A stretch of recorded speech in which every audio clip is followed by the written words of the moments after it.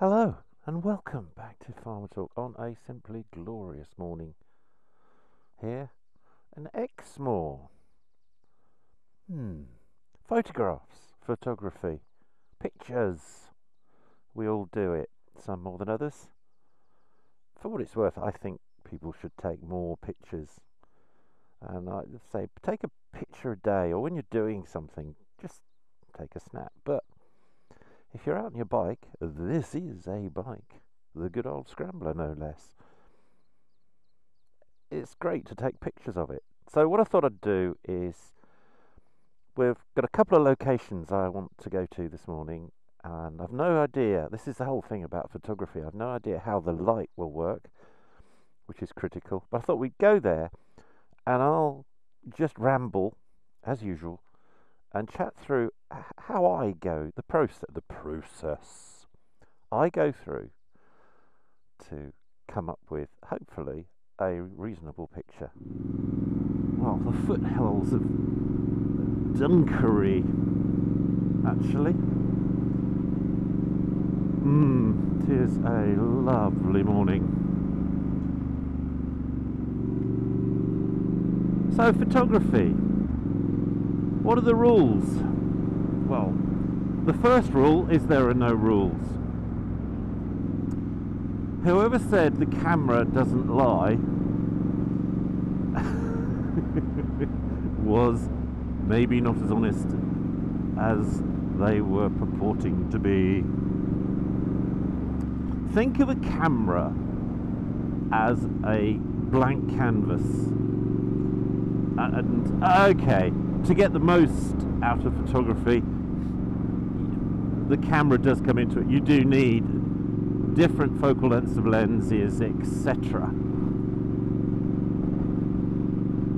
But it is a blank canvas, and you can manipulate that to get the image that your eye wants to see. Now, I don't want to make that this is, I want to keep this vid simple. But if you think just remember that.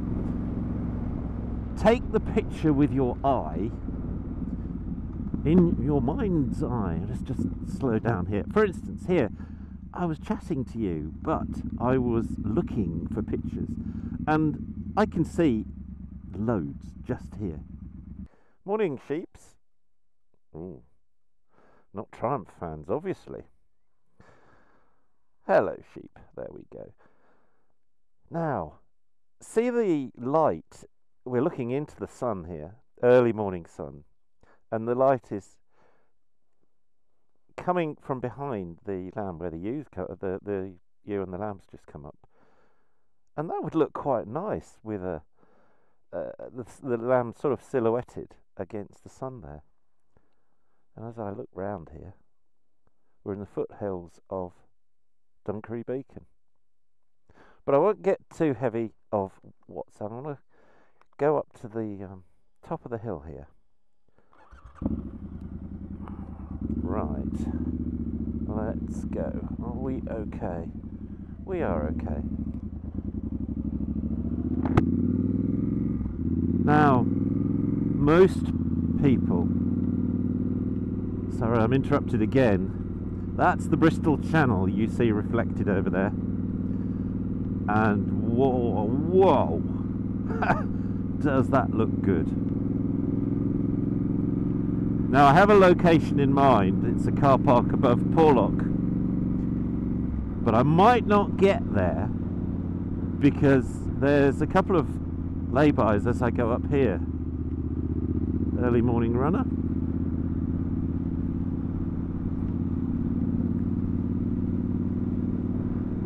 So constantly look for locations. Pull in here and we'll have a look. Okay, location one. Well, this, you know, see, this is how it can go. I I was planning to go further down the road, but thought I'd stop here because because if you don't stop and look at a view like this, something's wrong with you. And uh, and I suppose you could look at this view two ways, couldn't you? Some will say, what a gorgeous motorcycle. Some will say, move that frigging bike, will you? Doesn't matter. There are no rules, remember? So what have we got here? We've got the sun coming straight at us. So that's going to silhouette everything. But it's reflecting off that Bristol channel rather nicely. So what do we do here? Well, we back to one's mind's eye. You frame the picture you want to see. So, so I have here my best camera, ha ha, my iPhone. Everyone's got a phone, so let's go to camera. So, sorry to wave around here. So what do we got? Well, first we check the lens is clean, and it is. Now, hopefully you can see that. And I'm shooting up there.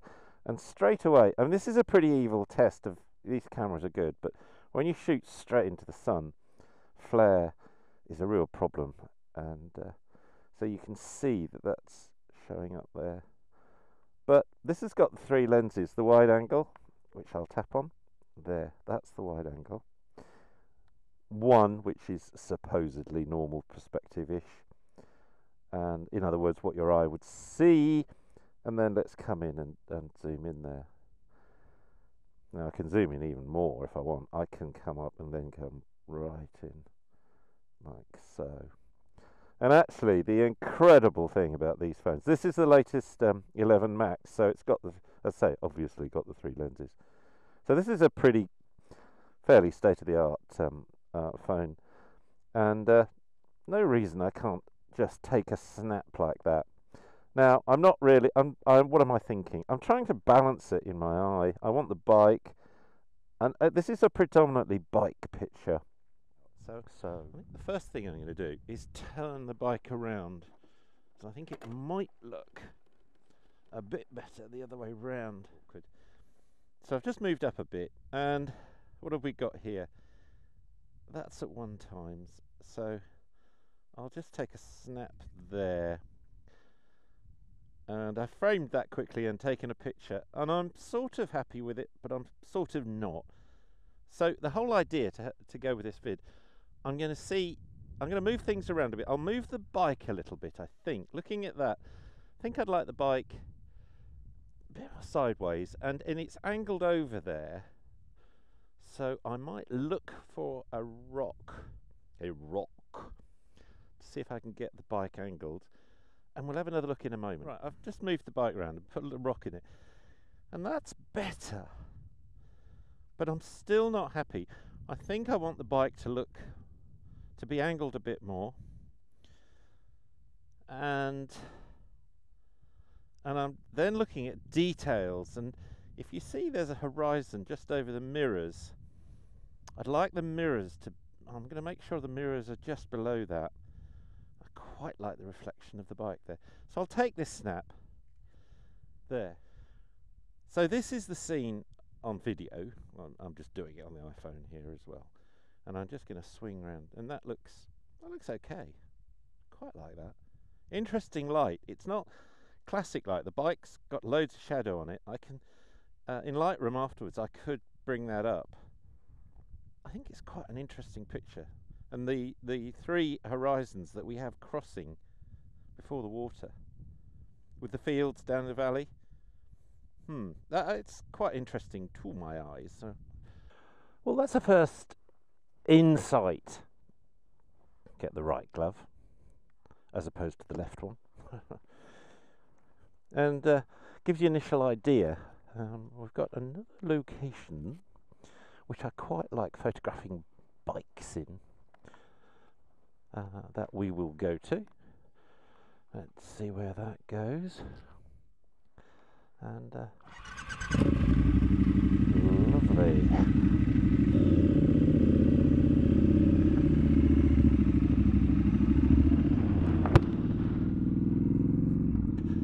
I keep saying there's no rules, and and that's the main thing. Whenever you're anywhere near anyone who seems to be handy with a camera, pick their brain, ask questions, and then put your own into a lovely scarified tree. We'll just amble off Dun- Dunkery Beacon to our right up there. There you are. You can just see it. And uh,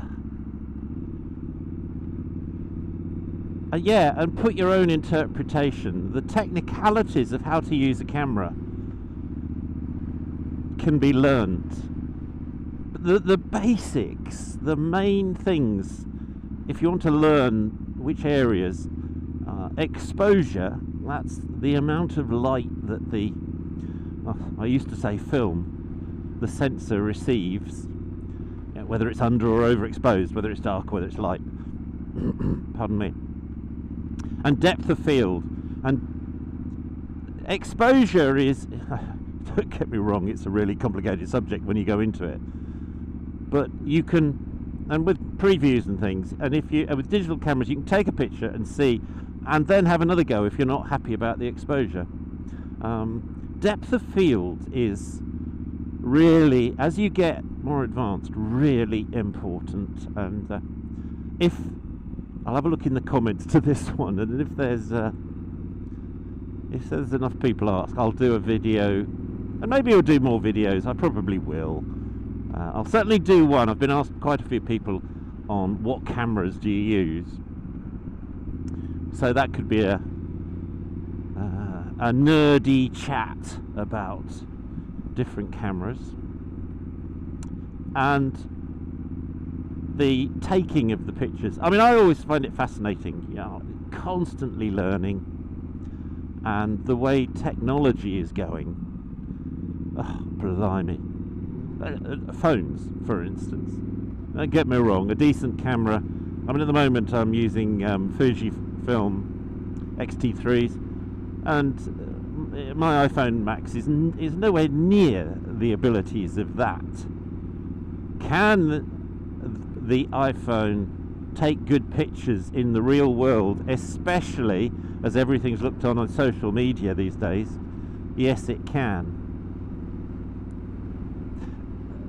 Does uh, make putting effort into and and skill, I guess, skill, ability, having a good eye. Uh, can you tell the difference? Does an iPhone just magically take photos, great photos for everyone? No, it doesn't. There you go. Right. Onward and downward. Hmm, that sounds familiar. It's great to be out on the scrambler again. And yeah, pretty, pretty easy to enjoy it on a morning like this and in this location, but uh, just heading down to we're uh, uh, going from Exford to Winsford. Those tractors are always there. Mm. very patriotic with the flags. Um, here we go here we go here we go. Whoa whoa whoa chatting and chatting away and uh, didn't realise that we are here yeah, right. We are here. We are here. We, you and I. Correct. Don't think we want fourth, do we? How about neutral? That'll do. Right, let's have a look. Okay, location two. Well, let's have a look. I'll do a quick pan on the uh, iPhone, on the iPhone, right. There we go. Now I'm in wide on this, so I'll just pan through and it's it's almost like a little quarry. Um, it's a little on the face of it it's nothing. You just drive past it and think nothing. Hopefully i can um, i can uh, we we can make something work photographic wise. Oh just pop the drone up which is a bit of fun. Can that can look at us while we're taking the picture. So let's get the pannier off here. And it's always this is, I find this a fun bit of taking a picture. It's just setting up. For instance, I've got the GoPro here. So I want to try and take a decent picture, so I'll just wind that off. That will do nicely. We'll get gloves and the remote here off. Come across. And all the time I'm, I'm, I'm thinking about the photo. I'm thinking about light, And I keep going on about light, don't I? Hmm. Obsessed. Obsessed with light. hmm. Right, pop that down there. The other thing that's handy that I thought I brought but didn't, but I do have this, which is remarkable how often you come to take a picture of something and it's not dressed. I mean, what can catch you out on a bike? Oh, well, dirt, obviously, dust. Uh, where the uh, tyres are, the alignment of the wheels, etc. Just come back a bit, stand in the middle of the road. But, uh, but that looks pretty good. Uh, it's a pretty good subject, isn't it? So my job's easy. Okay, well I've got the Sony here on the tripod, and uh, and I, I'll just focus in on this. This isn't. This is my general go-to. I think it's a great camera.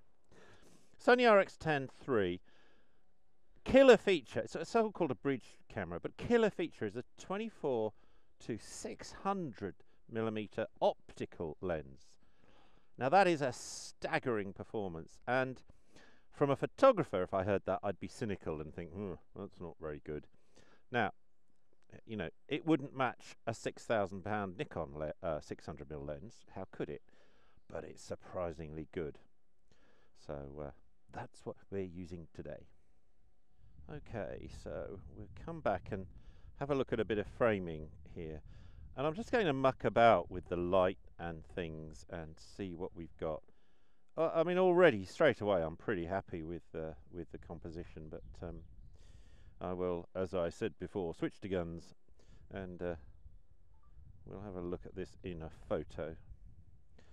So, uh, I might want to put one on Instagram later. So let's have a little look. So I'll change the format on the camera to square, which suits Instagram. And then, uh, do I want the trees in or not? Yeah, maybe. Let's see, let's see, let's see. The thing is, you can play. So we'll do that. And then I'll come in a bit more. And we've got, now this is getting nearer to the photo I'd like as an end result. so there you go. Can you see that? Um, and that's interesting, where one-to-one -one for uh, Instagram. Hmm. Now I'm going to muck about with the uh, Sony. Let's switch it on and see what we've got. I'll uh, move the drone around a little, and we'll have a word in a little. In a, we'll have a word in a little. We'll have a word in a bit. Okay, so got the camera on the tripod. Now, I didn't realise carrying a tripod around is a, a bit of a pain.